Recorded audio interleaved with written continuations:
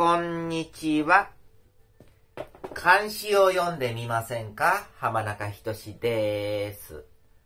えー、今回も川上はじめさんのですね、えー、訳詩を紹介しようと思います。うですね。えー、春雨、春雨、えー、ですね。えー、これは、あですね、えーっと、えー、法を干、陸法を干渉と、えー、題するですね、えー、訳詩いいの元になった、えー、詩なんですけども、五言絶句ですね。えー、えー、五言詩は、あーだい2、3で切れて、下の3は、あーきえー、1、2か2、1に切れますね。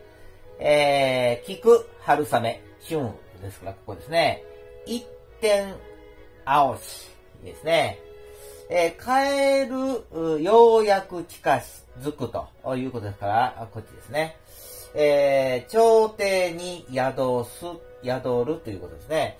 えー、この宿という字は、あですね、よす、えっ、と、本州の県南思考では、よすと、えー、してますので、朝廷に、えー、よすと、ですね。でも、まあ、1、2で切れますね。えー、いうことで、えー、えー、ですね。まあ、あの、えー、こういうふうに切れると思います。えー、それでは、あですね、読んでいきましょうか。あですね。えー、この、ですね、火というのは、あですね、えー、ふすまとか、えー、布団とか、あですね、よぎ、えー、よぎ、夜に着る、着物ですかね。えー、とか、あですね、まあ、あのー、体にかぶせて、えー、ですね、まあ、掛け布団ですね。えー、ですね、まあ、どうしようか。よーぎと、とりあえず読んでおくのかな。うん、ね。よぎを要して、春雨を、春雨を、聞き、ですね。残党一点青しと。そうですね。まあ、これはあの、ひっくり返した方がいいですね。もう、消えかけの灯火は、あ弱くでね、弱々しく、一つだけこう、灯っていて、えー、そして、えー、その中で布団をかぶって、えー、ですね、掛け布団をかぶって、えー、ですね、まあ、寒いんでしょうね。ね。えー、春の、春雨の音をですね、に耳を傾けるということです。で、えー、我が子、えー、帰る、ようやく近づき、えー、いずれのところにか、ね、朝廷に宿せんと。えー、まあ、予選かもしれませんけどね。えっ、ー、とね。ー、と、まあ、あですね、四川に残してきた子供がいたんですね。その子供が、あですね、えー、その四川から石膏ですね、えー、陸遊のところにこうですね、えー、やってくる、ですね。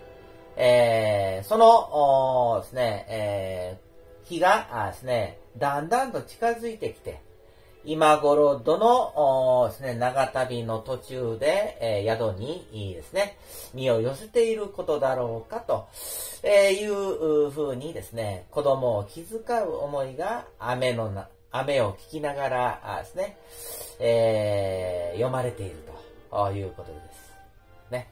春雨陸遊よぎを要して、春雨を聞き、残党一点青し。我が子帰る、ようやく近づき、いずれのところにか、朝廷に宿せん。ね、祝戦かもね。えー、ということで、これを川上さん、えー、このように訳してますですね。えー、これも5行ですね。えー、4項 5, 5行で訳してます。春雨、川上はじめ役。衣かき寄せ春の雨聞く。夜更けて細るともしび青し。あこ帰りつく日も近づけり。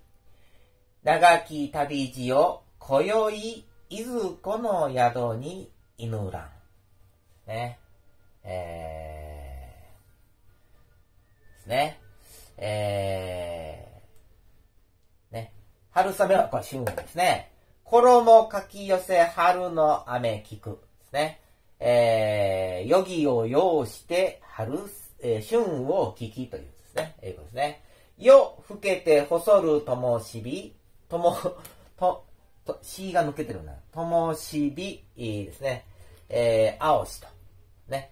え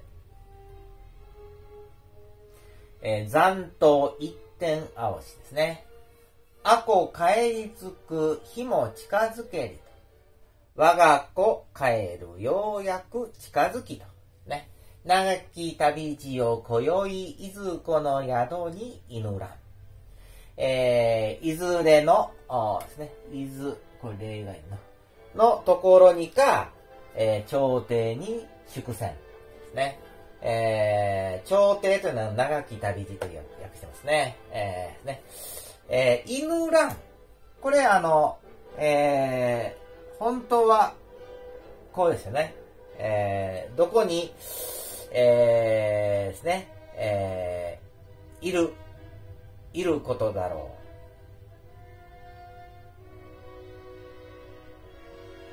う。やろうな、これね。どこにいることだろうと。いうことで、こう、こう、切れるんやと思うんやけど、えー、ですね。